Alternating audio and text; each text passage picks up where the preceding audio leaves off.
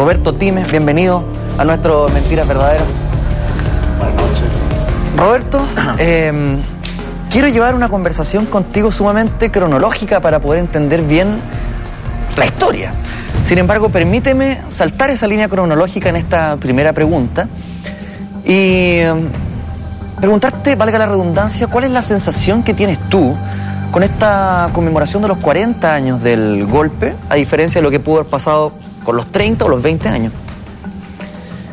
Bueno, antes que nada agradezco la invitación, eh, Jean-Philippe, y también le agradezco a, a José Antonio Leiva que de alguna manera me trajo acá contra mi voluntad. Eh, eh, en fin. Un sabueso periodista. sí, y muy perseverante y bueno, no sé si le voy a agradecer esto al final del programa, pero a- hasta ahora sí. Bien, vamos a tu pregunta. Eh, a mí la sensación que yo tengo es como que si los 40 años debieran haberse eh, internalizado en el país hace 10 años atrás, o sea, cuando eran 30 años del golpe. No podemos hablar de hace 20 porque estábamos todavía en dictadura. Y sin duda que me ha sorprendido lo que está sucediendo. Eh, los análisis que se hacen desde los medios de comunicación, de los cientistas políticos, analistas, sectores institucionales, extra institucionales, etcétera, eh, que a mí me indican, para ser breve, que estamos, eh, que el país está en una crisis eh, oculta, larvada, que nos lleva a un conflicto hacia el futuro. ¿Tú sientes que hay un conflicto que se puede venir al corto, al mediano plazo? no en el corto ni en el mediano.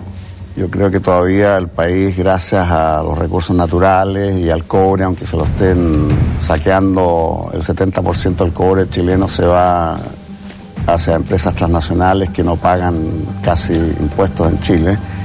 Pero tarde o temprano el cobre va a bajar por las crisis eh, sucesivas del capitalismo mundial y ahí vamos a la crisis, una crisis económica a portas, a portas en el largo plazo, va a generar, en mi opinión, una explosión social en Chile, que la estamos viendo a través de los estudiantes, por ahora, los movimientos sociales y más adelante con los trabajadores.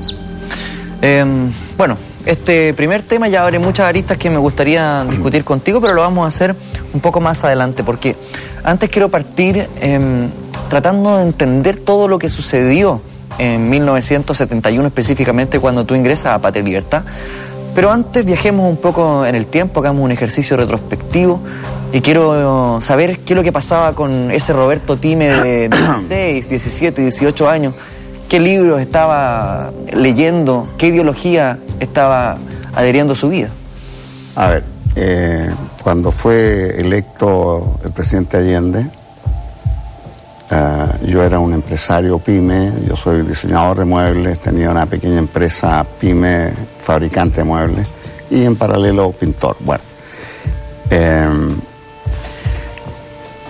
yo soy descendiente de alemanes, mis padres sufrieron los rigores de, la- de las dos guerras mundiales, la primera allá y la segunda desde acá. Así es que eh, yo tenía en mi ADN eh, un anticomunismo visceral. Eh, en ese momento sobre reaccioné frente a la posibilidad de que Chile, en el contexto de Guerra Fría, entrara, cambiara de la dependencia del capitalismo del imperio norteamericano al comunismo soviético. Ese era el, el cuadro bipolar que se vivía en el mundo y, particularmente en Chile o en América Latina. Eh, como un buen burgués, yo leía el Mercurio y veía los canales que, que no, no estaban politizados en la época, pero después supimos quiénes manejaban esos hilos también. Y aquí hubo una campaña del terror, como ha quedado mostrado a posteriori, ¿cierto? Mucho antes, previa a la elección de Allende, de la Unidad Popular, estamos en los años 60, en fin. Y yo de alguna manera me creía en esta, en esta sensación que había en la época de que Chile, con la elección de Allende, iba a ir por el camino hacia una especie de comunismo al estilo cubano, por un camino distinto, que era esta especie de, de socialismo a, la chilena con empanadas, ahora empanada de vino tinto. Eh, ¿Sabes lo que me llama la atención de, tu respuesta? Es que dices sobre reaccioné o imaginé un clima tal vez demasiado polarizado. Es una reflexión a la que has llegado con el correr de los años, pero ¿por qué hablas de una sobrereacción?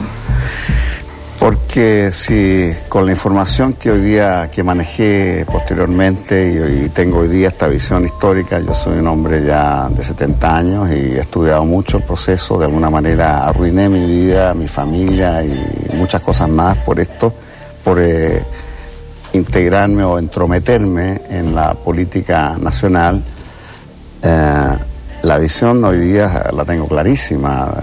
El proceso chileno viene en los inicios de los 60, ya el año 64, la primera vez que yo voté como mayor de edad, porque se votaba a los 21, no a los 18, eh, ya el temor al comunismo, vuelvo a insistir, en el, en el, en el esquema de guerra fría de, de los países de la, eh, de la cortina de hierro detrás, Hungría, Checoslovaquia, Alemania mi país de origen, de mis padres, dividía con el muro de Berlín, Kennedy, todo ese, ese esquema, eh, evidentemente que me afectó y me llevó a esta decisión, como dije, sobre reacción frente a la posibilidad de que Chile cayera en el comunismo.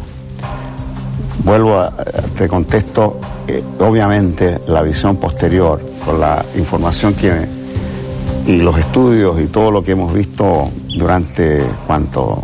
40 años, ¿cierto? Eh, me llevan a una visión completamente diferente. Roberto, em, ¿qué es lo que significa ser un nacionalista o qué significaba ser un nacionalista eh, el año 71, 70, eh, en esa época? ¿Qué es lo que era? ¿Qué pretendían?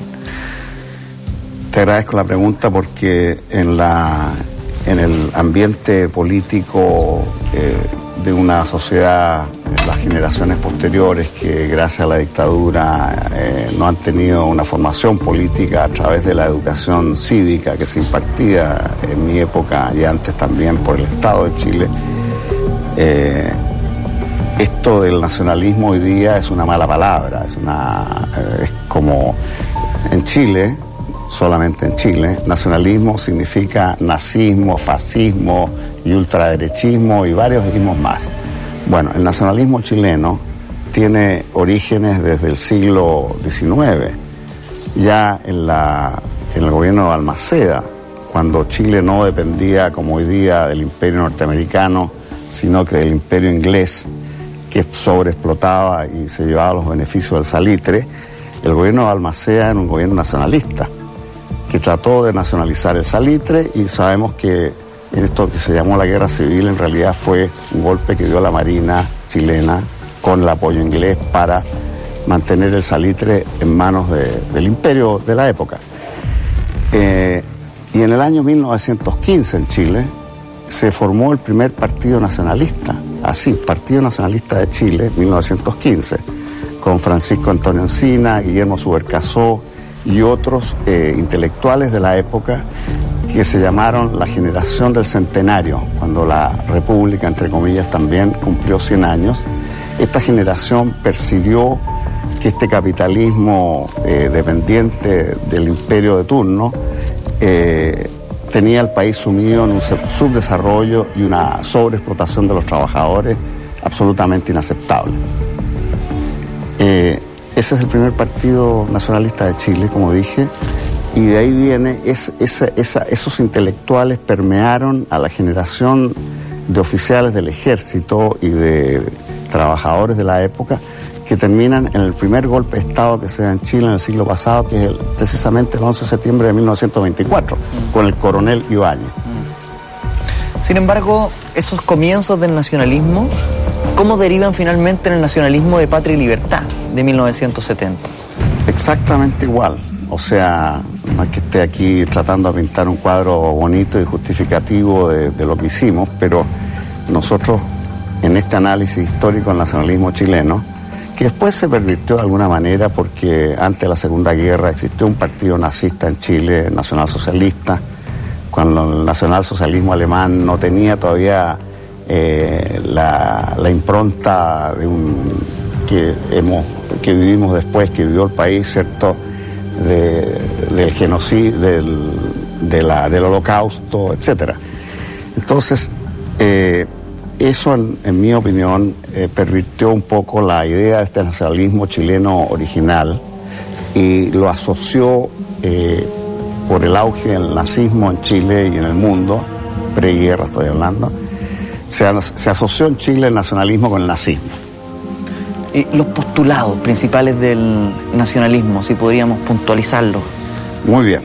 Eh, cuando se creó el movimiento nacionalista Patria Libertad, ahí estoy viendo a Pablo Rodríguez en, la época, que era el gran líder de la, nuestro líder ideológico, se, se redactó un manifiesto nacionalista que coincidiendo con la Unidad Popular, en el sentido de que el capitalismo eh, dependiente y esta democracia liberal que existía en Chile había, no iba a permitir el desarrollo del país, había que crear ¿cierto? una tercera vía. O sea, nosotros nos declaramos del primer momento como un movimiento distinto, nuevo, enraizado en la historia de Chile, equidistante del comunismo de sello soviético y del imperialismo o el capitalismo de sello norteamericano. O sea, nos declaramos antiimperialistas, subrayando frente a los dos imperios. Entonces, en lo político, eh, pensamos que la democracia liberal, heredada de, la Europa central, eh, no era la vía, o sea, era una, una si tú quieres, democrática, tradicional, pero no era el, el camino de los países latinoamericanos. Entonces, este, este esta democracia fundada y basada en los partidos políticos había fracasado, en nuestra opinión. Lo mismo pensaba la Unidad Popular. Recordemos que, el, eh, bueno, después hacemos un paralelo en eso. Entonces, nosotros cuestionamos la democracia liberal y pensamos que una auténtica democracia tenía que basarse en la fuerza de los trabajadores, de los cuerpos intermedios, que no es hablar de, del corporativismo como había sido con la democracia cristiana y la en la impronta de la Iglesia Católica en los años 20. O sea, nosotros decíamos, los partidos políticos, bien, que existan, pero solamente con el poder que representan en base al porcentaje de votos que tienen. O sea, cuando Allende asume el poder, ustedes como Patria y Libertad, ¿cuál fue la sensación que tuvieron de inmediato en base a los preceptos que me acabas de decir? Quiero eh, señalarte que lo que yo estoy diciendo aquí hasta ahora está ajustado a la doctrina del movimiento, al manifiesto nacionalista y a las miles de publicaciones, entrevistas, discursos que dimos eh, y, y, adoctrinamiento a nuestros militantes durante los tres años de la Unidad Popular. Eh, hoy día bueno, el movimiento fue disuelto al día siguiente del golpe y desde entonces hasta ahora, 40 años después, nunca más ha existido para la libertad y yo estoy hablando aquí por mi propia experiencia personal. No represento ni quiero representar a nadie. Bien, vamos al, tema en la época. Aparte de la, de la crítica al capitalismo burgués de esta democracia liberal que existía en Chile y se reconstruyó hoy día, eh, cuestionábamos lo que se llama las relaciones de producción. O sea, frente al socialismo marxista de la época, con los países, eh, como dije, el imperio soviético, etcétera, de todo el Estado, nosotros creíamos que las relaciones de producción también tenían un camino intermedio. En vez de todo el aparato productivo de un país eh, en manos privadas, tampoco en manos del Estado nuevamente una tercera vía que era, llamamos eso, la empresa integrada de trabajadores. Es decir, las empresas con los trabajadores en una alianza entre el capital, el trabajo, eh, con la repartición de la plusvalía equitativamente. ¿Cómo podía afectar todo eso, eh, el arribo al poder de Allende y lo que representaba también el socialismo en la época?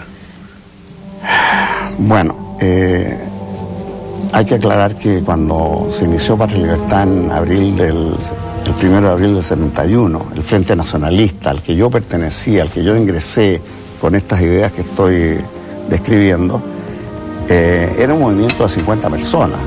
Era Pablo Rodríguez. 50 personas. Sí. Pablo Rodríguez era un eh, brillante abogado, profesor de la Universidad de Chile, eh, siempre señalado como el mejor profesor por todas las generaciones que pasaron por ahí, de todo transversal, o sea, hasta la gente de izquierda reconocía la brillantez de Rodríguez en, desde el punto de vista profesional. Bueno, él llevó, ah, cuando inició este movimiento, eh, a un sector de, estudiantes de la, Chile, o sea, estamos hablando de un movimiento que tenía una impronta más bien laica y no conservadora eh, como la otra universidad, ¿no? Bueno, y ahí entré yo, porque escuché un discurso de Pablo Rodríguez, que en algún momento yo pensé irme del país, o sea, vuelvo a decir, no fui víctima de nadie, sino en mi propia ignorancia. O sea, asume Allende y tú de inmediato tienes esa sensación de que te tienes que ir. Claro, vuelvo a decir, por mi ADN, por mi formación alemana, Guerra Fría, etcétera, eh, mi primera reacción fue irme de Chile. Yo tenía ya, yo estudié en la Argentina cuando era joven, me impregné mucho del, del justicialismo argentino. Yo... ¿Sentiste miedo en ese momento? O sea, no, no, no, no puedo decir que miedo, pero sí eh, reaccioné, como dije, sobre reaccioné pensando en mis hijos, ya tenía tres hijos, dije, no voy a educar a mis hijos en este esquema de un país que va a ser la segunda Cuba, vuelvo a decir, todo este esquema que se había planteado mm. en los medios si pudiésemos ilustrar eh, qué es lo que te imaginabas tú en el momento en que asume Allende, ¿qué país viste? A ver, eh, yo sé que de las personas más políticamente incorrectas que pueden estar eh, explicando esto, yo me gano un premio ahí, ¿no? Eh, cuando se habla de, la, de la elección democrática de Allende, sin duda que fue democrática, pero ajustada a una constitución política que era la del 25, que tenía una gran falla, que es la eh, que no contemplaba la segunda vuelta electoral. Recordemos que Allende en su en esa elección obtuvo el 36% de los votos, con un proyecto revolucionario. Obviamente Chile necesitaba una revolución y habían tres proyectos revolucionarios. La democracia cristiana, que venía de los 65 adelante con la Revolución en Libertad de Frei Montalva, eh, la Unidad Popular con la revolución de, vuelvo a decir, este camino único y utópico de, de las empanadas y el vino tinto, y nosotros después planteamos la revolución nacionalista. Bien, o sea, el ambiente político, la sensación térmica del país y de América Latina era de que estábamos frente al agotamiento del capitalismo neoliberal o liberal y había que hacer, crear una revolución para sacar a nuestros países del subdesarrollo. Bueno, en esa línea yo dije, bueno, con el proyecto de Allende, 36%, eh, un gobierno de minoría, que planteaba ¿cierto? las dos vías. Recordemos que el Partido Socialista, y no quiero sumarme a esta campaña de la derecha que, inventó el plan Z y que demonizó a la Unidad Popular con esto, pero en términos de números y de ciencia política, eh, la Unidad Popular nunca contó con la mayoría, fue un gobierno de minoría, que dentro del sistema quería eh, eh, efectuar una revolución. Y el Partido Socialista contemplaba en su en sus principios que la vida armada también era legítima, algo que hoy día es insólito en, el mundo en que vivimos, pero en esa época los que estábamos en esto de la política veíamos la vida electoral por un lado y la vida armada por el otro. Y no nos parecía eso una contradicción, todo lo contrario. Eh, tú dices que la derecha hizo una campaña de demonización de la unidad popular, tal vez utilizando los medios de comunicación que ellos tenían, eh, que hoy todavía tienen. Sin embargo, eh, ¿sientes tú que gran parte de la población, entre ellos tú, pudo haber sido utilizado por maniobras de la derecha? A ver, yo no siento que fui utilizado porque decidí voluntariamente en que en vez de irme a Argentina con mi familia, eh, seguir en mi negocio de muebles, de mi profesión de pintor, etcétera, decidí a raíz de escuchar este discurso de Rodríguez quedarme en Chile porque me sentí un cobarde, o sea, huyendo del país como lo hizo la derecha. en realidad esta campaña del terror, hoy día sabemos que estaba la CIA detrás, el Departamento de Estado, el imperio norteamericano que considera y considera hasta hoy día América Latina como su patio trasero. eh, no iba a permitir eh, esta revolución, o, sea, una revolución marxista después de lo que pasó con Cuba. Mm. Te lo preguntaba específicamente por lo que nombraste, por ejemplo, el Plan Z, que finalmente nunca existió. Eh. Bueno, es que aquí estamos, yo quisiera pedirte que, que, en este largo y conflictivo y terrible, esta historia horrible que ha tenido nuestro país,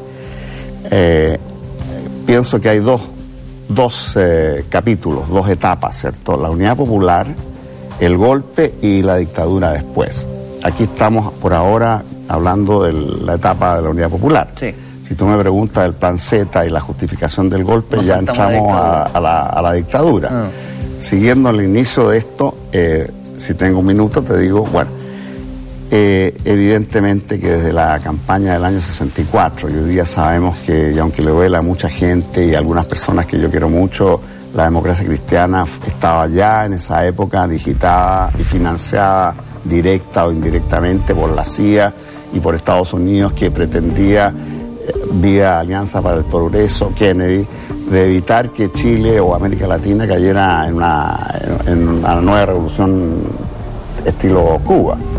Bueno, eso no lo sabíamos. Yo la primera vez que voté, como dije, voté por la DC, que en el fondo salió con la derecha. La derecha en esa época era mínima y en este miedo al comunismo se alió con su enemigo eh, visceral que era la democracia cristiana. Estoy en el 64. El 70 se dividen las tres fuerzas, los tres tercios que siguen existiendo hoy día en Chile a pesar del binominal, pero eso sería el capítulo tercero de esto. Mm. ¿Pero hubo una campaña no? ¿Una demonización de la UP? Por supuesto, se llamó la campaña del terror. Yo, recuerdo, eh, a mí igual que yo era, ya te digo, un buen burgués, fabricante de muebles, y en la mañana a las siete y media cuando venía a la fábrica, el diario Mercurio ahí en el Altejardín, titulares, y alguna vez vi una página entera con el Palacio de la Moneda, con un tanque con las insignias, insignias soviéticas. Esa fue, claro, en esa época, vuelvo a decir, nosotros, yo no tenía la información. ¿Te sentiste engañado posteriormente por los medios de comunicación? Por supuesto, y, principalmente por el Mercurio, cuando en esa época, los años 60, estamos en la segunda mitad de los 60, eh, se crea, este, eh, se, explota este movimiento, el socialismo francés, ¿cierto? las protestas, las revueltas del año 68 frente a De Gaulle y ahí en Chile también había una efervescencia intelectual, estudiante, en fin, y en la Universidad Católica se instala un cartel que dice el mercurio miente. Obviamente yo no creía que el mercurio mentía, pero hoy día lo tengo clarísimo como la mayoría de nuestros compatriotas. El mercurio miente omitiendo, manipulando, y en esa época y después durante la Unidad Popular fue financiado por, por Estados Unidos. Lleguemos al momento del 11 de septiembre de 1973. Eh, Patria y Libertad ya está funcionando. Tú me dices también algo que, que me llamó mucho la atención. El camino político y la vía armada para nosotros no eran caminos disímiles, sino que iban de la mano. Complementarios. ¿Por qué? Porque vuelvo a insistir que, eh, a ver, yo no quiero aquí castigar o, tratar de demoler la imagen de Salvador Allende, porque al final, eh, con sus errores, yo creo que el proyecto de Allende era absolutamente, o de la Unidad Popular, utópico e inviable.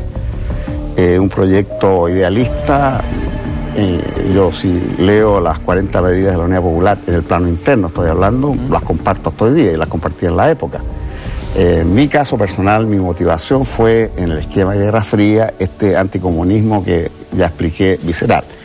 Ahora, eh, este proyecto revolucionario de Allende tenía que fracasar eh, inevitablemente. Eso está arte estudiado en las academias externas, en ciencia política afuera, no en Chile todavía porque está tan fresco y es tan doloroso lo que sigue sucediendo, las heridas siguen abiertas con la sociedad chilena, en la sociedad chilena, producto de la dictadura, que no se puede analizar esto bajo el prisma de la ciencia de la historia, que se estudia cinco años en la universidad. Bien.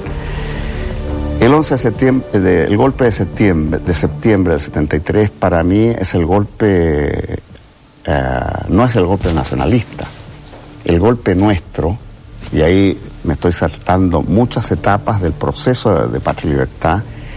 Eh, nosotros, a ver, para ponerlo, si me permiten un minuto, eh, dar el, contexto. El contexto de la segunda etapa, vuelvo a decir, ya eh, revolucionario el movimiento. Sí, de hecho, vamos así muy cronológicamente para entenderlo todo muy bien. Es mejor así.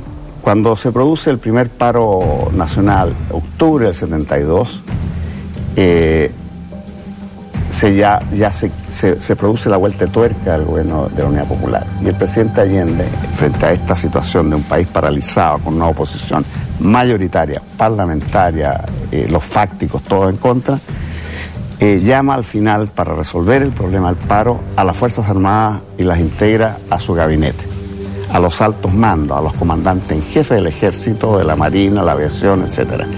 Bueno, en nuestra opinión, en el Consejo Político, estimamos que ese paso que dio la Unidad Popular o el presidente Allende fue un error catastrófico que les costó después lo que sabemos y le costó al país también. ¿El error estuvo en confiar en las Fuerzas Armadas? Evidentemente que Allende, la Unidad Popular, nosotros y la democracia cristiana, que éramos todos pensábamos al final que el vacío de poder que iba a generar toda esta situación iba a ser llenado por estas Fuerzas Armadas chilenas que eran distintas a la estereotipo de los, de los de otros países latinoamericanos, que no eran golpistas, que no eran gorilas, que no eran corruptos, que era como una especie de reserva moral que tenía el país como un árbitro superior que nos iba a, a pacificar en el conflicto radicalizado. Y considerados como intelectuales muchos de ellos. También, y de hecho son, o sea, el poder militar, el partido militar, como señala Gabriel Salazar, ha existido desde que existe la República de Chile y ha influido en toda la historia. Las cuatro constituciones que ha tenido nuestro país están todas digitadas por el poder militar, no por una asamblea constituyente. Bueno, entonces cuando Allende comete este error estratégico, de incorporar a los altos mandos compromete, ¿cierto?, de alguna manera, eh, apolitiza al, al poder táctico militar.